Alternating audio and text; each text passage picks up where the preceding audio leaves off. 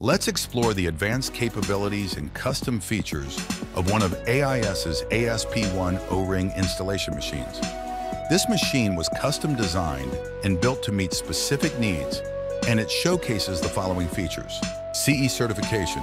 This certification ensures our machines meet EU health, safety, and environmental protection directives, essential for global commerce.